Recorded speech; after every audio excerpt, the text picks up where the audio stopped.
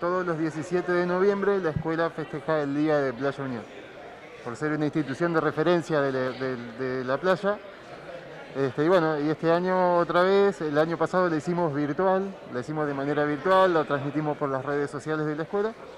Y bueno, esta vez con la presencialidad, con los cuidados eh, necesarios, volvimos a, a hacer la, la, muestra de la escuela de Playa Unión. Estamos en la escuela nocturna, en el EPJA, estamos cursando los dos de noche y nada, estamos hace casi un año con las complicaciones del COVID y todo, pero hacemos presencial ahora y nada, está bastante bueno, eh, está muy orientado al turismo y salís que digamos con una también opción laboral mediante la materia que estamos cursando que venimos a presentar acá en el stand, digamos. Tiene muchas estrellas naturales, tenés muchos avistajes, también tenés también la zona de Playa Magaña, que está muy lindo, que no está muy lejos de acá.